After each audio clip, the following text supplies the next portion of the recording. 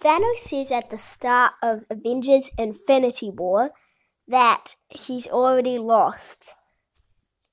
And um then um so he loses in Avengers Endgame because Iron Man snaps his fingers, and he recogni- uh, recognizes, recognizes um, Iron Man at at um, their first meeting in um, Avengers Infinity War. So what if um, the time loop in Loki means that um, somehow Thanos came back and then he tried to redo him his him wiping out half of the universe. Um so what if he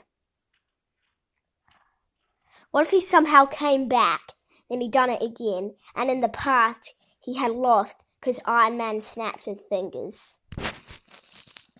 Hope you liked the theory, I guess.